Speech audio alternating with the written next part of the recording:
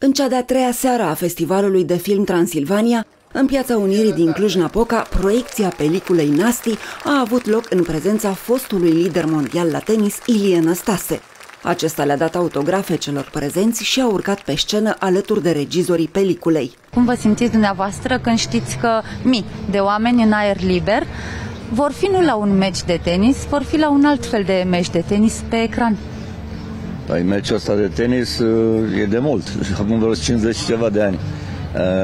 Cred că cei mai în vârstă mai știu ceva despre meciurile mele, despre rezultate, despre cum eram eu pe teren, dar în general acum ce fac eu vreau să, ca și cei tineri să vadă că se poate ajunge și în România să fie numărul unu mondial la ceva.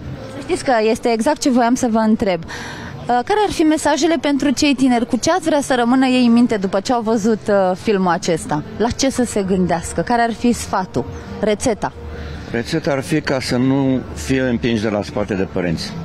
Dacă are talent și iubește ce face, o să ajungă oricum. A, că îl încurajează, asta e una, dar ca să-l dai numai că sunt niște bani în joc sau știu niște premii în joc, nu.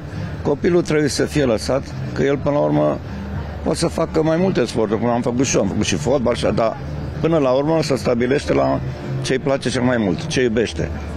Și asta s-a întâmplat la mine. Am schimbat la 13 ani, n-am mai jucat fotbal, m-am de- dedicat complet uh, tenisului.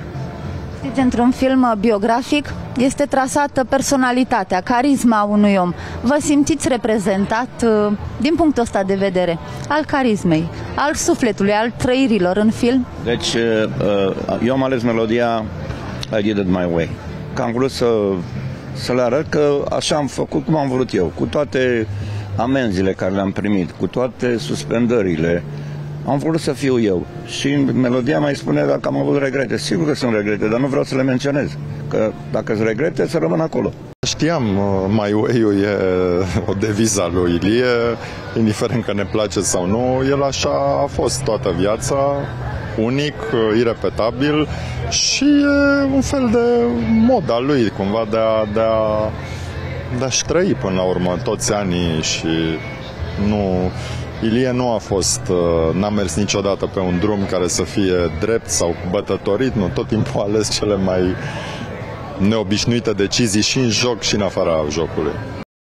Am căutat foarte mult uh, prin toate arhivele din toată lumea, iar uh, mesajul pe care l-am dorit să-l transmitem în acest film a fost complexitatea lui Ilie și ambivalența lui, pentru că Ilie este și bun și rău în același timp și am încercat să facem un film pentru toate vârstele și pentru cei care își aduc aminte cu drag și cu nostalgie de vremurile trecute, dar și pentru cei tineri care nu l-au cunoscut pe Ilie, nu l-au văzut deloc și cumva încercăm să le aducem aceste materiale într-un mod cât mai entertaining posibil pentru ei.